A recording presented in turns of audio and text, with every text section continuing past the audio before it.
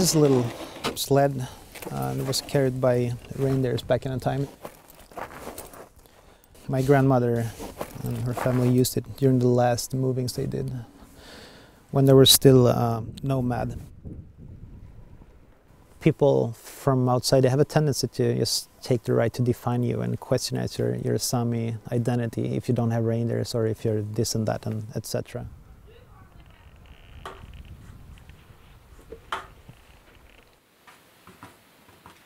When I'm when I'm painting, I'm trying to really I'm I'm avoiding the reindeers as a subject really because I think that it's reinforcing the stereotype of Sami and reindeers and I don't want to contribute towards that. Let this dry a little bit and continue at, at the later stage.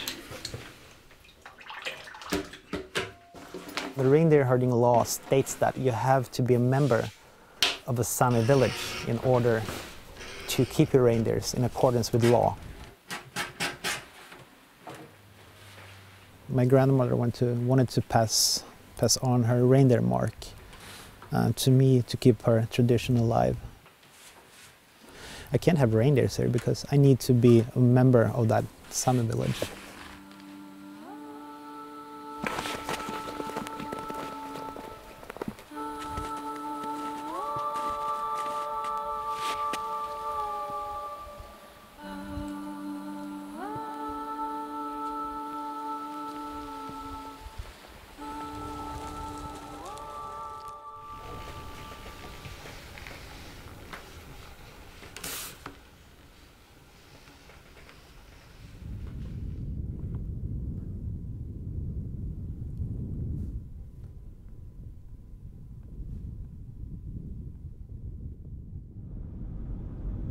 The existing Sami village members decides with no objective criteria whether you should be a, a member or not.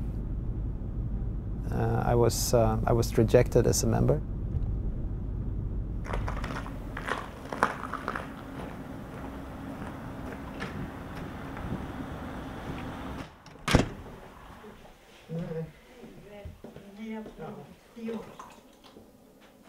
Du tillhör den här eh, generationen som, som föddes som, som nomad. Ja. Du, du gick i nomadskola. Jag gick i nomadskola. Det, det var en enklare typ av undervisning. Det var en enklare typ av undervisning. Vi skulle aldrig bli så där som svenska, att de skulle få inte samma undervisning. Fick ni någon undervisning på samiska? Nej, inte.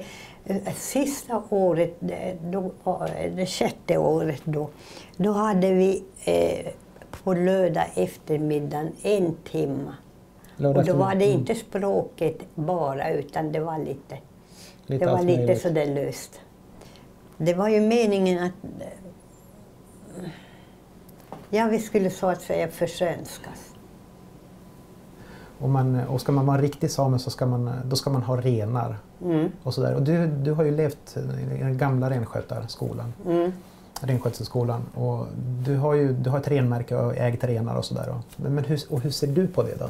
är det viktigt? Måste man ha renar för att vara same? Nej, det behöver man inte. Nej.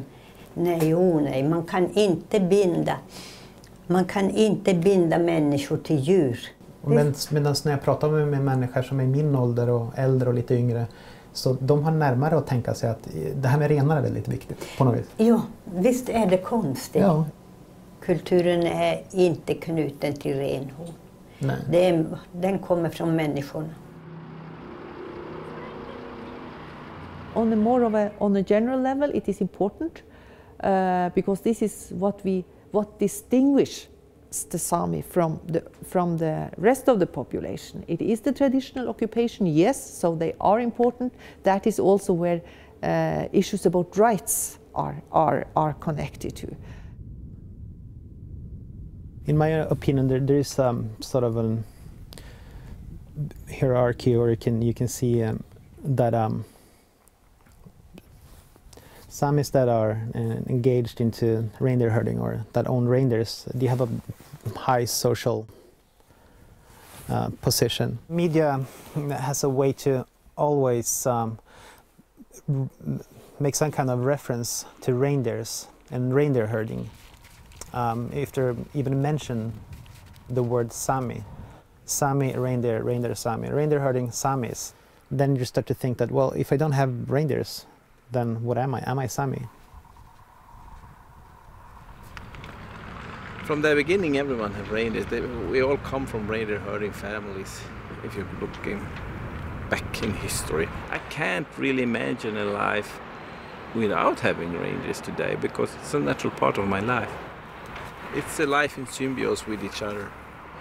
The reindeer have always been the, the, the fundamental of the culture.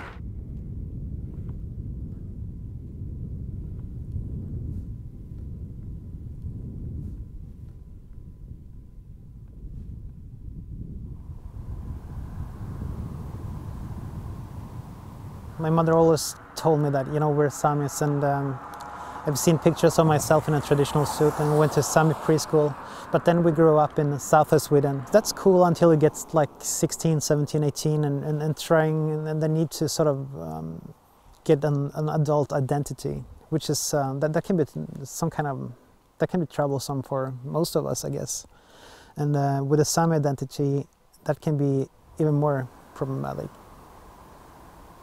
growing up and knowing that you're Sami and not being able to connect to uh, a geographic place and other Sami people and, and, and, and culture, and that is just going to be a difficult process to connect to it.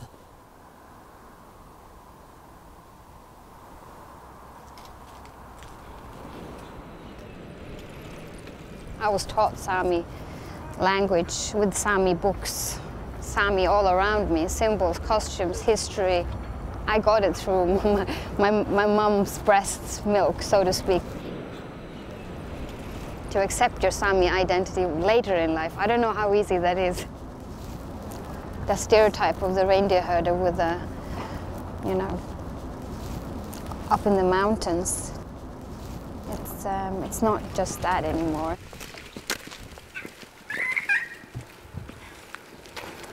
My son Lars, or Lasse, that's his short name.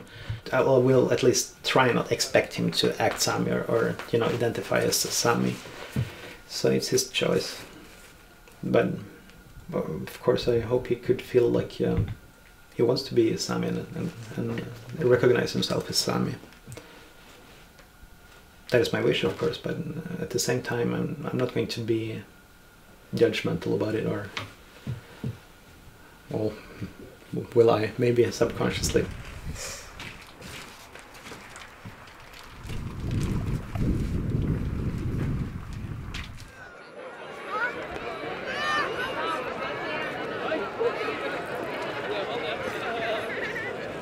It's uh, important for me to give the culture and language and traditions over to my kids.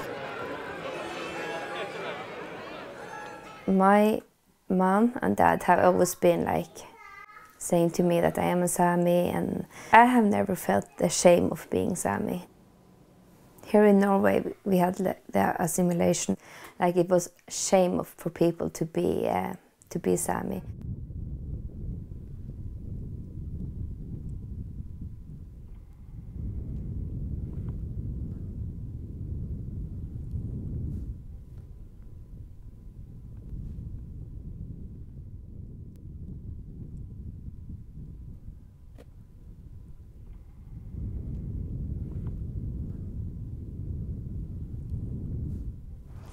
My parents went to boarding school. It was the uh, most effective way for um, the Norwegian state and also the Swedish state to eliminate Sami culture. You take away the language, you take away their connection to the land, their family. You send a six-year-old to school and they're lost, but they're still there. Jag är ju förblir den energin jag då. Det är som Nils Aslak mm. säger, mo vaimo lemo rokto, mm. jata chovomo. Mm. Ja. Det tycker jag liksom att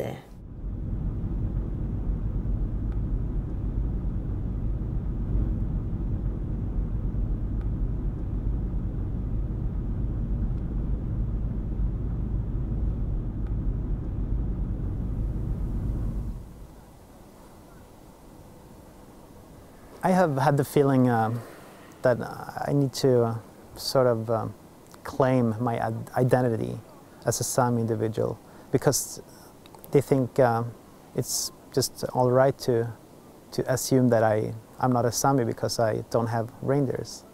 It's frustrating, and that makes the identity process more complicated.